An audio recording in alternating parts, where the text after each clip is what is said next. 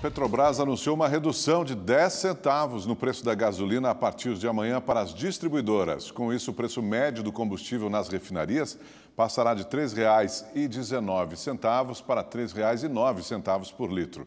A estatal disse em nota que esse ajuste reflete, em parte, a evolução dos preços internacionais e da taxa de câmbio, que nos últimos dias se estabilizaram em patamar inferior para a gasolina.